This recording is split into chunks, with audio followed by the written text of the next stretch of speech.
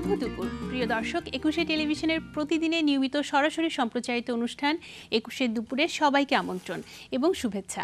শুভেচ্ছা আপনাদেরকেও যারা দেশের বাইরে বসে একুশে দুপুর দেখছেন। প্রিয় দর্শক প্রথমে জানিয়ে দিচ্ছি, আজ আমাদের সাথে গল্প স্বল্প পর্বে উপস্থিত থাকবেন human rights ইন্টারন্যাশনালের secretary general barrister Monowar Hossain. অতিথির সাথে সরাসরি কথা বলতে ফোন করুন আট এক দুই ছয় পাঁচ তিন পাঁচ থেকে আট পর্যন্ত এই সব কটি নম্বরে। আর অনুষ্ঠানের পুরো সময় জুড়ে আপনাদের সাথে আছি আমি আরিফা আক্তার, নিপা। এবারের আয়োজন এই দিনে। এই পর্বে থাকছে বিশেষ দিন এবং বিশিষ্ট জনের জন্ম, মৃত্যুর শ্রদ্ধাঞ্জলি। গণমানুষের কল্যাণে আত্মনিবেদিত প্রথিত যশা সাংবাদিক, সাহিত্যিক, দৈনিক সংবাদের সাবেক সিনিয়র সহকারী সম্পাদক, রাইটার্স ফাউন্ডেশনের বাংলাদেশের সাবেক উপদেষ্টা, কবি ও কলামিস্ট সন্তোষ গুপ্তের আজ ছিয়াশিতম জন্মদিন। স্বকীয় বৈশিষ্ট্যমণ্ডিত সাংবাদিক, কলামিস্ট সন্তোষ গুপ্তের জন্ম উনিশশো পঁচিশ সালের নয়ই জানুয়ারি রোজদি গ্রামে। সাংবাদিকতা ও সাহিত্যে অবদান রাখার জন্য একুশে পদক, বঙ্গবন্ধু পুরস্কার, জহুর হোসেন স্মৃতি পদক সহ অনেক পদকে তাকে সম্মানিত করা হয়। কবিতা, রাজনৈতিক কলাম, সমালোচনা সাহিত্য সহ তিনি অনেক মূল্যবান লেখা লিখেছেন। দীর্ঘ কর্মজীবনে রাজনীতি, সাংবাদিকতা, সাংস্কৃতিক কর্মকাণ্ড ও লেখালেখির মাধ্যমে জীবন দশাতেই তিনি আমৃত্য, সংগ্রামী ও আপোষহীন এক কীর্তিমান পুরুষ হিসেবে নিজেকে প্রতিষ্ঠা করেছেন। দুই সালের ছয়ই আগস্ট তিনি মৃত্যুবরণ করেন। আজ তার জন্মদিন। জন্মদিনে তাকে স্মরণ করছি গভীর শ্রদ্ধায়। এবারের আয়োজনে থাকছে সম্ভাবনাময় বাংলাদেশ। বাংলাদেশের অনেক সম্ভাবনাময় একটি খাত হচ্ছে পর্যটন শিল্প। দেশের নানান প্রান্তে ছড়িয়ে আছে অনেক দর্শনীয় ও ঐতিহাসিক স্থান। আজ সম্ভাবনার বাংলাদেশে থাকছে ঐতিহাসিক পানাম নগরী নিয়ে একটি তথ্যচিত্র।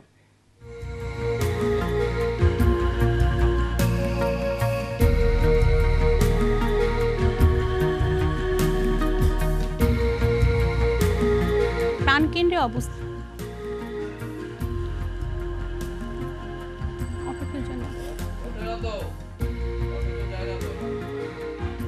পানাম নগরী ঢাকা থেকে পানাম নগরীর দূরত্ব মাত্র একুশ কিলোমিটার। চোদ্দ শত শতাব্দীতে বাংলার সুবেদার ইশা খার সময় সোনারগাঁ ছিল বাংলার রাজধানী। পানাম নগরীতে মূলত উচ্চবর্গের হিন্দু ব্যবসায়ীরা বসবাস করতেন। সেই সময়ের অসংখ্য বাড়িঘর কালের সাক্ষী হয়ে এখনও টিকে আছে। কারুকার্যময় দালান কোঠা, প্রাকৃতিক সৌন্দর্য ও সিমছাম পরিবেশের আকর্ষণে ছুটির দিনগুলোতে দেশি বিদেশি পর্যটকদের পদভারে মুখরিত হয়ে ওঠে পানাম নগরী।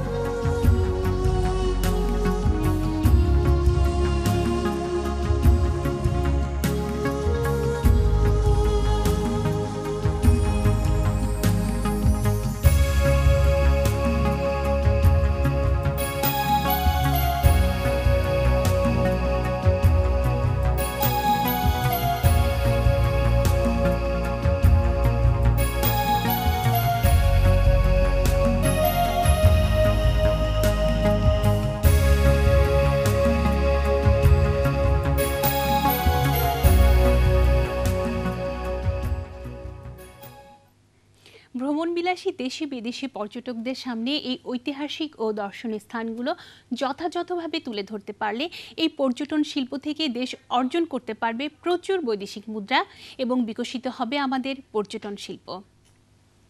প্রিয় দর্শক, আপনার সংগঠন বা শহরে আয়োজিত বিভিন্ন অনুষ্ঠানের আগাম খবর, চিঠি, ফ্যাক্স বা ইমেলে আমাদের জানিয়ে দিন। আমরা তা জানিয়ে দিব একুশে দুপুরের সাংস্কৃতিক অনুষ্ঠান পর্বে।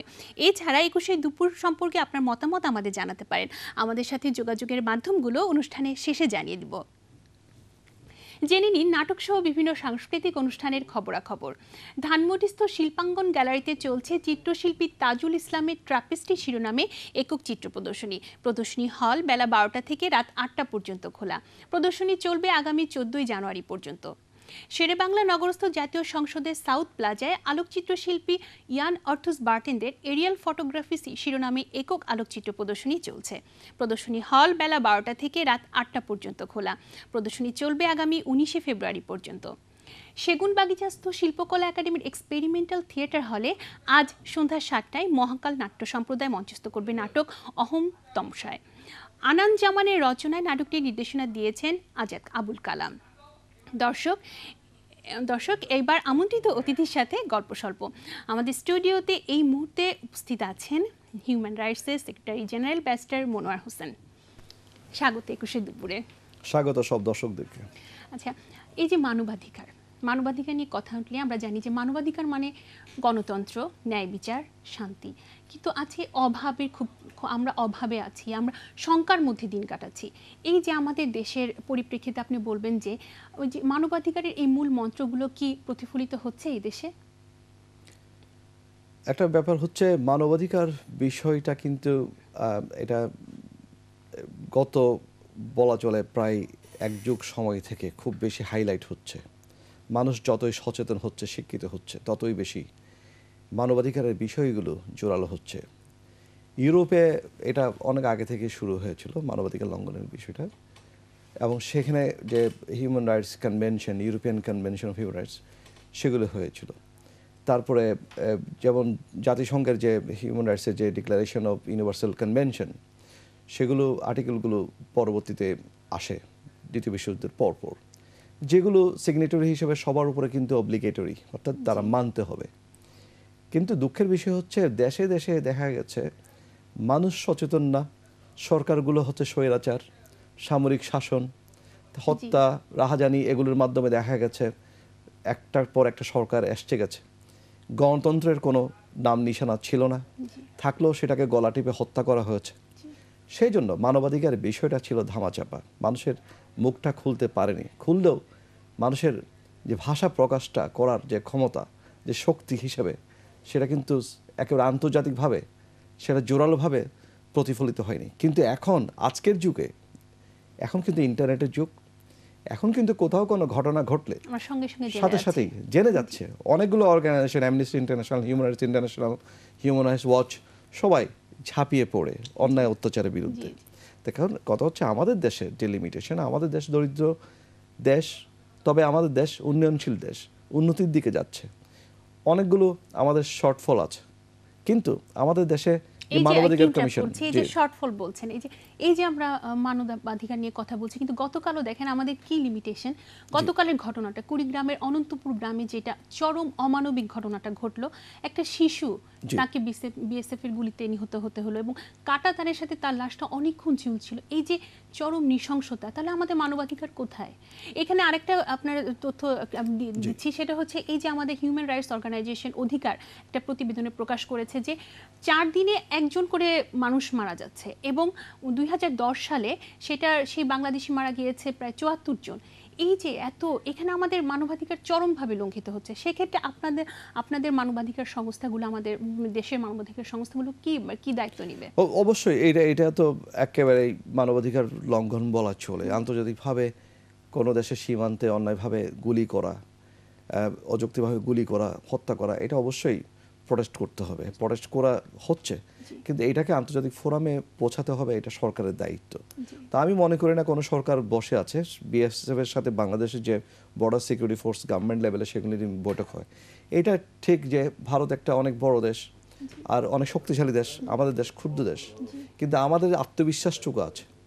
সেটা নিয়ে আমাদেরকে করতে হবে ডিপ্লোম্যাটিক লেভেলে এটাকে রিজলভ করতে হবে। কারণ একটা ফাইটের এগেনস্টে আরেকটা ফাইট তো করা যায় না। কিন্তু আমাদের দেশগুলো দেশের লোকজনকে প্রোটেকশন কি করে দেওয়া যায়? সেটার জন্য সর্বাত্মক চেষ্টা করতে হবে এবং সেটা ভারত যদি অন্যায়ভাবে করে থাকে অবশ্যই সেটা অন্যায়। সাধারণ মানুষকে হত্যা করা হচ্ছে। এটা আন্তর্জাতিক মানবাধিকার আইনের লঙ্ঘন বলা চলে। সেক্ষেত্রে এটা আন্তর্জাতিক ফোরামে এটা নিয়ে যেতে হবে। এটা ভারতকে এটা জবাবদিহি করতে হবে।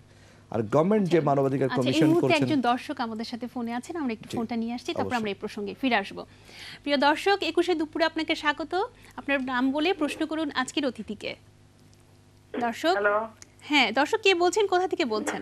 হ্যাঁ নিপাত আমি পলাশ বলছিলাম আচ্ছা হ্যাঁ পলাশ ভাই বলুন আজকের অতিথিকে প্রশ্ন আচ্ছা, করুন। আসলে একুশে টেলিভিশনে এই একুশে দুপুরে ফোনিং সিস্টেমটা অনেক ভালো হয়েছে আমাদের জন্য। তো আমি আপনার মাধ্যমে জানতে চাচ্ছিলাম আর কি যে এই যে মানে আমাদের আইন শৃঙ্খলা বাহিনীর মাধ্যমে যে বিভিন্ন জায়গায় বিনা বিচারে হত্যা হয় আর কি তো এইটা মানবাধিকার লঙ্ঘনের কোন পর্যায়ে পড়ে আর কি? আমি এটা জানতে চাচ্ছিলাম। আর আরেকটা ব্যাপার যে এই মানবাধিকার মানে র্যাব পুলিশ বা আইন শৃঙ্খলা বাহিনীর এই মানে কি বলে অ্যাকশনের কারণে আর কি দেখা যায় যে অনেক সময় যে চিন্তায় রাহাজানি অনেকটা কমে গেছে। এইটা কীভাবে আমরা মানবাধিকার দেখব আর কি? মানে মানবাধিকারের বিষয় দৃষ্টিতে দেখবেন। আচ্ছা আচ্ছা ঠিক আছে। আপনাকে ধন্যবাদ প্রশ্ন করার জন্য। জি একদিকে আইনের রক্ষা করতে হবে মানুষের জানমাল নিরাপত্তা দিতে হবে। আরেকদিকে সেখানে করতে গিয়ে ক্রস ফায়ার এবং বিভিন্ন ধরনের হচ্ছে এখন অনেকটা ইমপ্রুভ করেছে।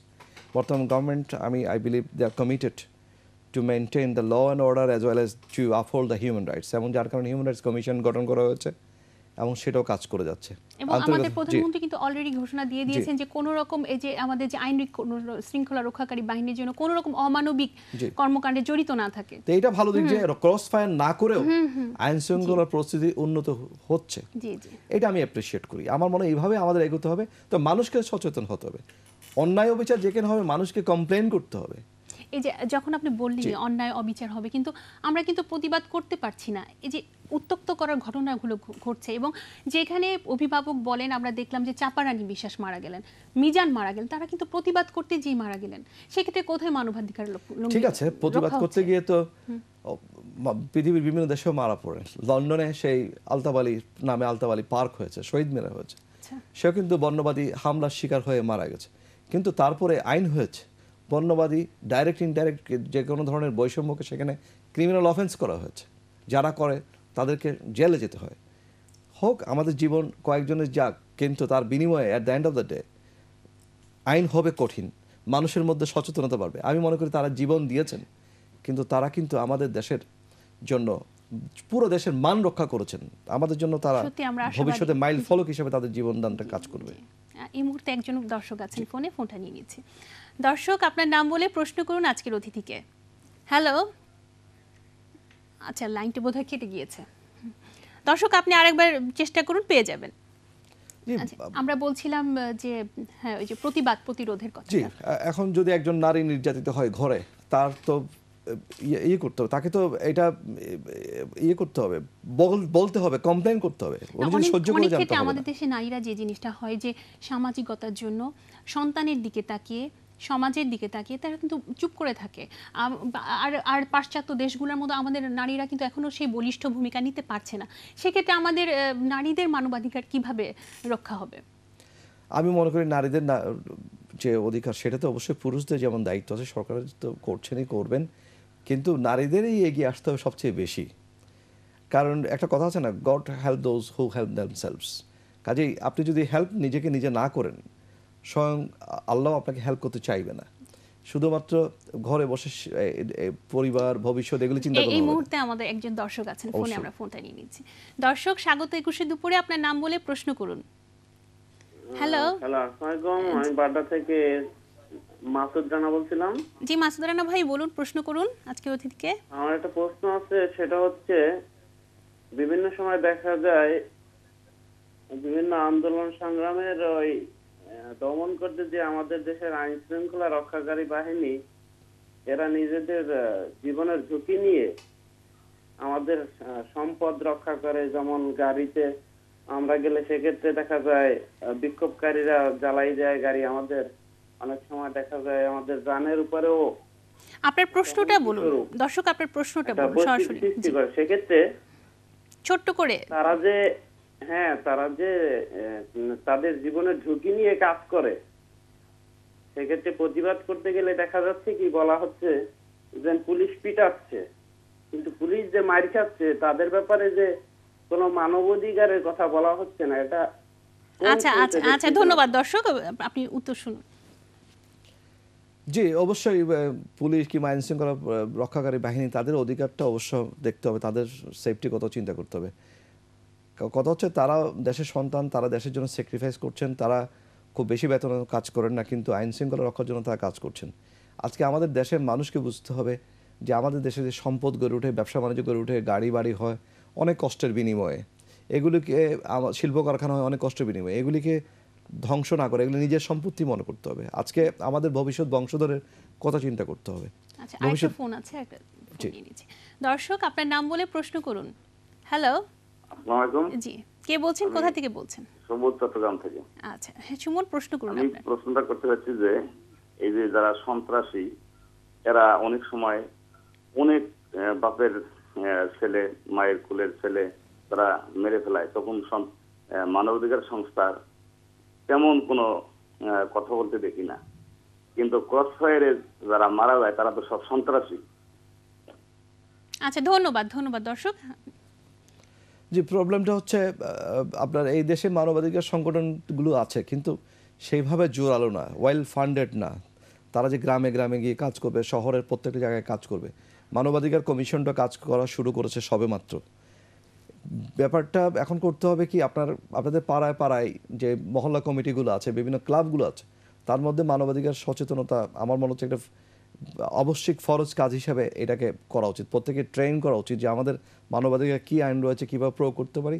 দেখা যাবে এগুলিতে মানুষ কমপ্লেন নিয়ে আসছে, তখন দেখা যাবে ওই ঘরের মহিলা কিংবা ওই যে একজন লোক, উনি যদি একা ফিল করেন, তাহলে দেখা যাবে উনি আর একা বোধ করছেন না। উনি দেখছেন ওনার পেছনে একটা সামাজিক শক্তি রয়েছে। আমার মনে হয় এইভাবে সামাজিক প্রতিরোধের বিষয়টা আমাদের চিন্তা করতে হবে। আচ্ছা আমরাও আশা করব যে আমাদের জনগণ অনেক সচেতন হবে। আচ্ছা আরেকটা আরেকটা প্রসঙ্গ যেটা চলে আসছে যে আচ্ছা তার আগে একটা ফোন নিয়ে নিই দর্শক আছেন দর্শক স্বাগত একুশে দুপুরে প্রশ্ন করুন। আপনার নাম বলে। হ্যালো জি ওয়ালাইকুম আহমেদ আমি সেন্ট্রাল রোড থেকে কথা বলছি। হ্যাঁ শামীম ভাই প্রশ্ন করুন। আমার প্রশ্নটি হচ্ছে আহ, স্যারের কাছে। যে আপনি আমাদেরকে বলেন আজকে গ্যান্ডারিয়াতে যে ঘটনাটা ঘটলো বাচ্চাকে উল্টো করে ঝুলিয়ে ডুবিয়ে মেরে ফেলেছে সেক্ষেত্রে মা বাবার অবস্থা ইন্টারভিউতে টেলিভিশনে যেভাবে দেখলাম তার সামর্থ্য না যে এদের সঙ্গে হয়তো ফাইট করে লিগ্যাল ওয়েতে ইয়ে নেওয়ার ব্যাপারে রায় নেওয়ার ব্যাপারে। এই ব্যাপারে মানবাধিকার সংস্থারা কি করছেন? এবং একটি উদাহরণ দেন যে ধন্যবাদ, দর্শক। জয়ী হয়েছে ধন্যবাদ শুনুন। জি, এই দেশে মানবাধিকার কর্মীরা তো অনেক কিছুই করেছেন। তাদের লিমিটেশনের কথা, সীমাবদ্ধতার কথাও আমি বলেছি। সরকারি সহযোগিতা তাদেরকে দেওয়ার ক্ষেত্রে ফান্ডিং অনেক সমস্যা আছে। কেউ যদি আশা করে যে মানবাধিকার সংস্থাগুলো ন্যায় বিচার এনে দেবে, এইটা কিন্তু ভুল ধারণা, কারণ মানবাধিকার সংস্থাগুলো চেষ্টা করতে পারে। কিন্তু আইন শৃঙ্খলা বাহিনী আছেন, আইন আদালত আছে, তাদেরকে স্ট্রংলি ভূমিকা পালন করতে হবে। যাতে করে এই ধরনের আসামিরা বেল না পায়, যাতে করে তারা অ্যারেস্ট হয়। সেই জন্য তাদেরকে সচেতন হবে তাদেরকে ইফেক্টিভ রোল প্লে করতে হবে। আরেকটা বিষয় হচ্ছে বিচার অবশ্যই একদিন না একদিন হবে। এই দেশে বঙ্গবন্ধু হত্যার বিচার হয়েছে পঁয়ত্রিশ বছর পর। এই দেশে অবশ্যই আমি মনে করি যে প্রত্যেকটা হত্যার আহাজানি খুন অন্যায়ের বিচার একদিন না একদিন হবেই। শুধুমাত্র আমাদের মানুষকে আমাদের ধৈর্য ধারণ করতে হবে হ্যাঁ, আমাদের সামনে আশাবাদী হতে হবে। এবং যারা সাক্ষী দেবেন অন্যায়ের বিরুদ্ধে মুখ খুলতে তারা যেন ভয় না করেন। এই মুহূর্তে এক- একজন দর্শক আছেন ফোনে আমরা ফোনটা নিয়ে নিচ্ছি। দর্শক আপনার নাম বলে প্রশ্ন করুন। হ্যালো হ্যালো আসসালামাইকুম জি ওয়ালাইকুম সালাম প্রশ্ন করুন। জি আমি ব্রাহ্মণবাড়িয়া থেকে বাঞ্ছরামপুর থেকে বলছি মামুন। মামুন বলুন প্রশ্ন করুন। আমার প্রশ্নটা হচ্ছে যে কথা বলা হয় এখন আমাদের দেশের যারা আইন শৃঙ্খলা রক্ষাকারী বাহিনী আছে তারা যেই নিয়মের বাইরে গিয়ে যেভাবে আন্দোলন সংগ্রামগুলোকে দমন করতেছে যদি সেখানে কি মানবাধিকার সংগঠনগুলোর কোন মনিটর আছে বা এ ব্যাপারে কোনো প্রতিবাদ ওনারা করে কি? এটা ওকে দর্শক আপনি এর আগে কোশ্চেন চলে আসছে উনি বলেছেন আপনার জ্ঞাতার্থে জানাচ্ছি যে আমাদের প্রধানমন্ত্রী কিন্তু অলরেডি বলে দিয়েছেন যে এই ক্ষেত্রে মানবাধিকার লঙ্ঘন করা যাবে না। ধন্যবাদ। জি অবশ্যই আন্দোলন সংগ্রাম যুক্তি যুক্তিসঙ্গত আন্দোলন সংগ্রাম এগুলিকে তো অবশ্যই আমি মনে করি না গভর্নমেন্টের কোনো পলিসি আছে এগুলি দমন করার জন্য। তবে সবাই গঠনমূলকভাবে গণতন্ত্রের মধ্যে গণতন্ত্রের বেস্ট ব্যবহার সর্বোচ্চ ব্যবহারটা করতে হবে। এবং গণতন্ত্র মানে কোনো ধ্বংস নয়। হরতাল মানে হরতাল মানার যেমন অধিকার আছে হরতাল না মানারও অধিকার আছে। আসলে আমাদের এত দর্শক ফোন করছেন আমাদের আরেকটা ফোন নিতেই হচ্ছে। একদম সর্বশেষ ফোন আমাদের একেবারে শেষ পর্যায়ে চলে এসেছে অনুষ্ঠানে। দর্শক আমাদের সময় খুবই অল্প। আপনি ছোট্ট করে প্রশ্ন করুন আপনার নাম বলে. আমার আমার প্রশ্ন ছোট। মানে পুলিশ প্রশাসনও মিথ্যা মামলা দেয়। এইগুলোর বিচারে তো মানবাধিকার দেখে না। আবার দেখা যায় সরকারি লোকও সরকারি সম্পত্তি দখল করে নেয়। এইগুলোর বিরুদ্ধে মানবাধিকার তো কোনো কথাই বলে না। তো পুলিশ বলল একটু আগে যে আমাদের ধন্যবাদ ধন্যবাদ। দর্শক বারবারই চলে আসছে আইন শৃঙ্খলা মানবাধিকারের জন্য যারা কাজ করেন তারা তো আপনার আমার মতো সবাই। তাদের কাছ থেকে খুব বেশি অতিরিক্ত আশা করাচ্ছে আপনাকে আপনার এলাকা থেকেই সবচেয়ে বেশি ভূমিকা পালন করতে হবে। এক্ষেত্রে জার্নালিস্ট যারা মিডিয়া যারা আছেন তারা সোচ্চার হওয়া উচিত।